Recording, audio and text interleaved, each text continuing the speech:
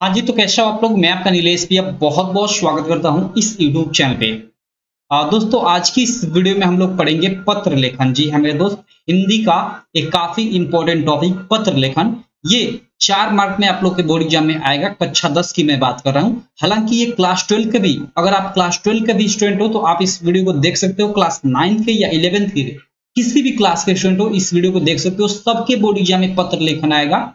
पिछले साल, मैं खासकर ये वीडियो तो क्लास टेंथ वालों के लिए बना रहा हूँ, लेकिन किसी भी क्लास के स्टूडेंट देख सकते हैं। चाहे नाइन्थ हो गया, या टेंथ हो गया इलेवेंथ या ट्वेल्थ क्योंकि सभी के एग्ज़ाम में अब पत्र लेखन आएगा। क्लास टेंथ के बोर्ड एग्ज़ाम में पिछले साल पत्र लेखन नहीं था, लेकिन इस साल ये नया टॉपिक जोड़ा गया है। यहाँ मैं आपको मॉडल पेपर में भी दिखा देता हूँ। यहाँ पे आप लोग देख सकते हो, ये मॉडल पेपर है। यूपी बोर्ड का क्लास टेंथ हिंदी का आप लोग स्क्रीन पे देख सकते हो, ठीक है? इसमें देखो, मैं आपको नीचे आपको दिखाता हूँ, और बहुत सारे मैं आपको बता दूँ कि हिंदी में बहुत सारे नए टॉपिक पत्र लेखन के अलावा और कुछ टॉपिक भी जोड़े गए हैं ऑब्जेक्टिव क्वेश्चन में जैसे यहाँ मैं आपको दिखा भी देता हूँ। जैसे उपसर्ग प्रत्यय था ना तो प्रत्येक खत्म कर दिया गया। अब प्रत्यय से आप लोग के बोर्ड में प्रश्न नहीं पूछेगा केवल उपसर्ग से रिलेटेड पूछेगा। और साथ ही देखो ये 18 और 19 नंबर 18, 19 और 20 ये तीन जो प्रश्न नए प्रश्न एड किए गए हैं ठीक है?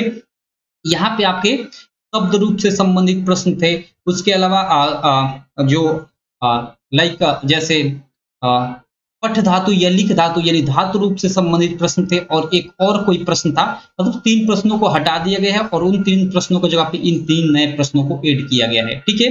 तो इस नए मॉडल पेपर से रिलेटेड मैं वीडियो बना चुका हूँ, आप चैनल पे जाकर देख लेना, ठीक? यहाँ पे मैं नीचे आता हूँ, ठीक है? यहाँ पे और मैं आपको पत्र लेखन वाला टॉपिक दिखाता हूँ, देखो यहाँ पे, एक नया प्रश्न यहाँ पे आठवां प्रश्न ये एक नया प्रश्न आपका ऐड किया गया है। ठीक है यहाँ पे आपका पत्र लेखन से संबंधित प्रश्न और यह चार मार्क का प्रश्न होगा। ये प्रश्न कैसे ऐड किया गया है? देखो ये जो ये प्रश्न था पहले आठवां प्रश्न था ये। आ, जो प्रश्न थे जिनका संस्कृत में आपको उत्तर देना था ये पहले आठवां प्रश्न था ये नौवा प्रश्न दसवां जो था वो नौवा प्रश्न था। ठीक है लेकिन यहाँ पे एक प्रश्न बढ़ गया है। प्रश्न काटा नहीं गया यहाँ पे सब्जेक्टिव में से। तो कहोगे कि क्या, तब नंबरिंग कैसे की ये तो देखो, पहले ये मतलब चार मार्क में था, ये चार मार्क में मतलब दो प्रश्नों का उत्तर दोगे तो आपको चार मार्क मिलेगा। लेकिन अब इसका केवल दो मार्क मिलेगा, ठीक है? और जो आप लोग का ये निबंध था, जो ये निबंध था, ये पहले नौ नंबर का हुआ करता था, लेकिन अब देखो आपका सात नंबर का कर दिया गया, यानी दो मार्क यहाँ से घटा दिया गया। यानी दो मार्क यहाँ से, दो मार्क यहाँ से। आपका चार मार्क घट गया, और इसी चार मार्क का आपका एक नया प्रश्न एड कर दिया गया है क्लास टेंथ के बोर्ड में और ट्वेल्थ के भी। ये क्या? पत्र लेखन, ठीक है? तो चलो, आप समझ गए? अब यहाँ पे एक काफ़ी इंपॉर्टेंट पत्र लेखन है, यहाँ पे मैं आपको दिखाता हूँ। काफ़ी इंपॉर्टेंट मतलब टॉपिक मैंने लिया हुआ है। और हो सकता है ये टॉपिक सेम टू सेम आप लोग के एग्ज़ाम में पूछा जाए, या फिर मैं इसमें लिखने का तरीका आपको बता देता हूँ कि पत्र कैसे लिखा जाता है। ठीक है? आप लोग लिख लोगे केवल लिखने का आपको तरीका मालूम होना चाहिए। देखो, ये पूरा का पूरा मैंने लिखा हुआ है। तो चलो इसको मैं बताता हूँ। देखो, यहाँ पे सबसे पहले पत्र में भी मतलब दो प्रकार के पत्र होते हैं फॉर्मल इनफॉर्मल यानी औपचारिक और अनौपचारिक पत्र। लेकिन इस वीडियो में हम लोग इसके बारे में डिटेल में बात नहीं करेंगे। यहाँ केवल ये समझिए कि इस वीडियो में हम लोग प्रधानाचार्य को पत्र लिखेंगे और प्रधानाचार्य को जो पत्र लिखा जाता है, वो औपचारिक पत्र के अंतर्गत आता है, जिसका फॉर्मेट ये होता है। फॉर्मेट क्या होता है? देख सकते हो। सबसे पहले तो ऊपर लिखा जाता है सेवा में और उसके बाद प्रधानाचार्य या प्रधानाचार्य जी ठीक है ऐसे। और उसके नीचे आपका विद्यालय का नाम और पता होता है ठीक? विद्यालय के नाम पता जो नाम है विद्यालय का एक लाइन में और दूसरी लाइन में विद्यालय का पता या एक भी लाइन में दोनों लिख सकते हो। उसके बाद आपका क्या होता है विषय होता है कि किस विषय पे आप पत्र लिख रहे हो ठीक है? उसके बाद एक लाइन छोड़कर नीचे आपका होता है महोदय या महोदया जी ऐसे आप आ, मतलब लिखकर उसके बाद एक लाइन नीचे छोड़कर वहाँ से आप अपना मेन सब्जेक्ट लिखना मुख्य आपका विषय वस्तु क्या है? मतलब किस टॉपिक पे पत्र लिख रहे हो? यहाँ पे जो आपने विषय दिया उसके बारे में आपको यहाँ पे डिस्क्राइब करना है पूरा का पूरा। ठीक है? और नीचे आप दो लाइन में आप समापन करते हो कि जैसे आ, मतलब कृपया मान लो कोई समस्या है तो कृपया हमारी इस समस्या को हल करने का प्रयत्न करें। मैं आपका आभारी रहूँगा प्रधानाध्यापक जी ऐसे कर कर समापन किया जाता है। और नीचे ही आपका जो भी नाम दिनांक जिस दिन आप पत्र लिखते वो सब होता है। क्लियर तो चलो कैसे लिखा जाएगा? यहाँ मैंने एक टॉपिक लिया है, पूरा पूरा आपको लिख कर दिखाया हूँ। चलो हम लोग लिखते हैं। टॉपिक क्या है? आप देख सकते हो, काफ़ी इंटरेस्टिंग टॉपिक है, ठीक है? यहाँ पे मैं आपको दिखा देता हूँ। देखो टॉपिक क्या है कि अर्धवार्षिक परीक्षाएँ अर्धवार्षिक परीक्षाएँ अगले महीने से हैं। अर्धवार्षिक परीक्षाएँ जो है, मान लो अगले महीने से हैं। परंतु अंग्रेज़ी और गणित का पाठ्यक्रम पूरा नहीं हो पाया है। पाठ्यक्रम पूरा न होने का कारणों का उल्लेख करते हुए अंग्रेज़ी और गणित विषयों की अतिरिक्त कक्षाएँ यानी एक्स्ट्रा क्लास आयोजित करवाने हेतु अपने विद्यालय के प्रधानाचार्य को प्रार्थना पत्र लिखिए। ठीक है? तो ये पत्र का टॉपिक है कि अर्धवार्षिक परीक्षाएँ जो हैं हाफ़ ईयरली एग्ज़ाम अगले महीने से है लेकिन गणित और आ, अंग्रेज़ी का पाठ्यक्रम अभी पूरा नहीं हुआ है। आ, पूरा नहीं हुआ है उसके कारणों का उल्लेख करते हुए आप इनका मतलब अतिरिक्त कक्षा लगाने हेतु प्रधानाध्यापक को पत्र लिखिए ये टॉपिक है। तो चलो कैसे लिखोगे? हम लोग लिखते हैं। आ, देखो मैंने पहले से यहाँ पे लिख रखा है। टॉपिक कुछ भी हो लिखने का फॉर्मेट यही होता है ठीक? देखो सबसे ऊपर आप यहाँ पे लिखोगे सेवा में ठीक है? सेवा में उसके नीचे प्रधानाचार्य जी या प्रधानाचार्य जी ठीक है? उसके बाद यहाँ पे जैसा कि मैं बताया यहाँ पे अब आपका क्या होगा? स्कूल नेम तथा पता होगा। तो मान लो स्कूल, जो भी आपका स्कूल का नाम हो या पता हो, यहाँ पे लिख दो। जैसे मैंने लिखा है अमर शहीद भगत सिंह इंटर कॉलेज, ये स्कूल का नाम हो गया और ये आगे जो पता लिखा जाता है, जैसे रचनावल्ली उत्तर प्रदेश है तो इसको आप नीचे भी लिख सकते हो, दूसरी लाइन में, या यहाँ पे भी लिख सकते हो, कोई दिक्कत नहीं है, ऐसे लिख सकते हो। उसके बाद आप विषय हेडिंग डालोगे और किस विषय पे आप पत्र लिख रहे हो, वो विषय आपको यहाँ पे लिखना होगा। तो हम लोग का विषय ऊपर क्या था? कि अंग्रेज़ी और गणित का पाठ्यक्रम पूरा नहीं हुआ है तो उसकी अतिरिक्त कक्षा लगाने आ, क्लास कक्षा यानी क्लास लगाने का विषय था। तो यहाँ आप लोग लिख दोगे लिख दोगे कि अंग्रेज़ी और गणित विषय की अतिरिक्त कक्षाओं के आयोजन के संबंध में ठीक है? या मान लो कहीं सफ़ाई के संबंध में लिख रहे हो तो जैसे स्कूल में नल की सफ़ाई के लिए आप पत्र लिख रहे हो तो आप यहाँ विषय में लिख सकते हो कि स्कूल में नल की सफ़ाई के संबंध में ऐसे। आप विषय में लिख सकते हो। अब उसके बाद एक लाइन छोड़कर यहाँ पे आपको महोदय या महोदया यहाँ पे आपको यहाँ पे डालना होगा। ठीक उसके बाद एक लाइन नीचे से छोड़कर यहाँ इसके सीट में यहाँ इसके सीट में नहीं थोड़ा सा यहाँ छोड़कर पहली लाइन थोड़ा साइड में और वहाँ से आपको शुरू करना है। शुरू कैसे करना है देखो। अब यहाँ देखो ये पूरा का पूरा आप पे डिपेंड करता है कि यहाँ आप, आप क्या लिखते हो। ऐसा नहीं कि जो मैंने यहाँ पे लिखा है सेम वही आपको वही शब्द लिखना है नहीं। आप अपने हिसाब से शब्द चुनकर जैसे भी आप आ, लिखो उससे कोई मतलब नहीं है। आप भले ही मतलब अच्छे से मतलब अच्छे शब्दों का भी चुनाव ना करो, आप अपनी टूटी भूसी भूसी भाषा में लिखो, कोई दिक्कत नहीं, आपको फुल मार्क मिलेगा।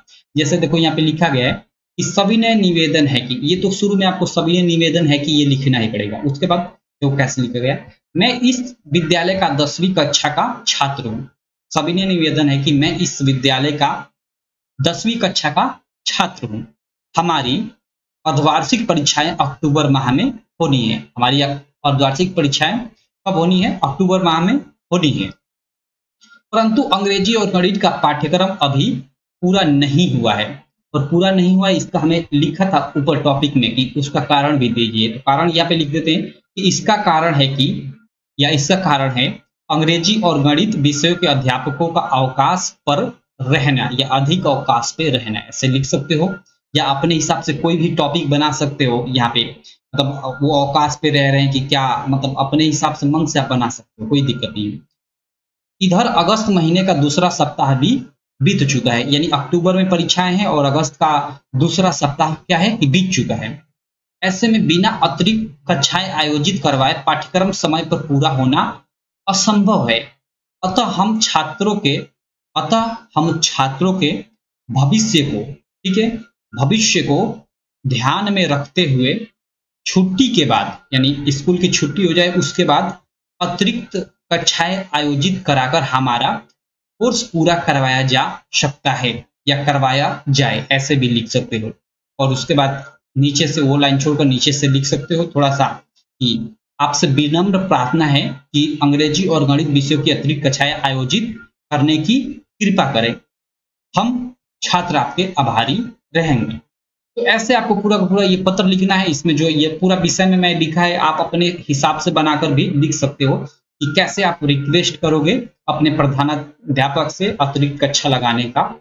एक्स्ट्रा क्लास लगाइए जिससे आपका सिलेबस गणित और अंग्रेज़ी का पूरा हो सके। आप अपने हिसाब से पूरा पूरा ये जितना मटेरियल है यहाँ पे आप लिख सकते हो। ऐसा नहीं कि जैसा मैंने यहाँ पे लिखा है, वैसे ही आपको भी लिखना है। ठीक?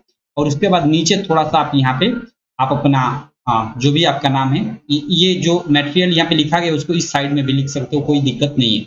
लेकिन ज़्यादा बेटर रहेगा, आप इस साइड में लिखो, ठीक है? यहाँ पे लिख सकते हो, आपका आप आज्ञाकारी शिष्य। और चूँकि आप हाफ़ ईयरली एग्ज़ाम दे रहे हो तो यहाँ पे आप अपना नाम भी लिख सकते हो, लेकिन बोर्ड एग्ज़ाम में नाम लिखना अलाउ नहीं होता है तो वहाँ पे एक्स वाई जेड लिख देना, जब बोर्ड एग्ज़ाम के लिए अगर प्रार्थना पत्र लिख रहे हो तो। लेकिन हाफ़ ईयरली में आप यहाँ पे अपना नाम लिख सकते हो। हाफ़ ईयरली अगर आपका अभी एग्ज़ाम हो, उसमें अगर पत्र उतर आए तो ठीक है? और यहाँ पे मॉनिटर कक्षा दसवीं या सिंपल कक्षा दस भी लिख सकते हो। और दिनांक, जिस दिन आप पत्र लिख रहे हो, मान लो आज उनतीस तारीख है तो मान लो मैं उनतीस आठ दो हज़ार तेईस ऐसे लिख दिया। जो भी दिनांक हो, यहाँ पे आप दिनांक डाल देना। यहाँ पे आपका आगे कार्य शिष्य और यहाँ पे आगे आपका नाम। अगर बोर्ड एग्ज़ाम में लिख रहे हो तो यहाँ पे नाम नहीं डाला जाता है बोर्ड एग्ज़ाम में। अगर हाफ़ ईयरली आपके स्कूल में एग्ज़ाम है, उसमें प्रार्थना पत्र लिख रहे हो तो आप अपना नाम लिख सकते हो, कोई दिक्कत नहीं है। ठीक? और क्लास यहाँ पे लिख देगा कि आप किस क्लास के स्टूडेंट हो? सिंपल इतना आप लोग लिख सकते हो। आ, तो आपको फुल मार्क जो चार नंबर का ये पत्र है आपको चार मार्क मिल जाएगा। तो ये था आप लोग का आ, इस टॉपिक पे। ये जो टॉपिक था मतलब स्कूल के प्रिंसिपल को प्रार्थना पत्र लिखना था। इस प्रकार मतलब कई प्रकार के प्रार्थना पत्र होते हैं। जैसे बैंक अधिकारी को मान लो आपका अकाउंट ट्रांसफ़र करना है या कोई भी मतलब बैंक से रिलेटेड कार्य है तो बैंक मैनेजर को आपको प्रार्थना पत्र लिखना है तो उससे रिलेटेड आप प्रार्थना पत्र कैसे लिखोगे? सारा प्रार्थना पत्र सारे टॉपिक पे मैं एक एक कर कर बता दूँगा। आ, उसी में से आपके एग्ज़ाम में आ जाएगा या जो मैं टॉपिक बताऊँगा उससे रिलेटेड टॉपिक आएगा तो आप आसानी से लिख लोगे ठीक है? तो कोई दिक्कत नहीं आप केवल चैनल को फॉलो करते रहो यहाँ आपको अच्छी से आपके बोर्ड एग्ज़ाम की तैयारी कराई जाएगी। बाकी कहूँगा हमारी एप्लीकेशन है यूपीएमएसपी स्टडी यूपीएमएसपी स्टडी कर कर इसे आप गूगल प्ले स्टोर से डाउनलोड कर लेना। ये आपको स्टडी में काफ़ी हेल्प करेगा। यहाँ पे आपको प्रीवियस ईयर पेपर उसके अलावा नोट्स और अन्य मॉडल पेपर सारी स्टडी मटेरियल बिल्कुल फ्री में मिल जाएँगे। तो ये आप एप्लीकेशन गूगल प्ले स्टोर से डाउनलोड कर सकते हो। ठीक है? तो चलो, मैं मिलता हूँ आपसे नेक्स्ट वीडियो में। आशा करता हूँ ये वीडियो आपको काफ़ी अच्छी लगी होगी। वीडियो अच्छी लगी तो यार चैनल को सब्सक्राइब कर देना वीडियो को लाइक कर देना।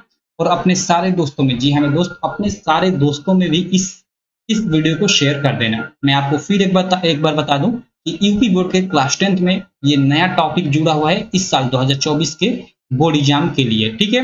2023 में ये पत्र लेखन टॉपिक नहीं था लेकिन इस साल जोड़, जोड़ा गया है ठीक है? चलो तो मैं मिलता हूँ आपसे नेक्स्ट वीडियो में तब तक के लिए। Thank you.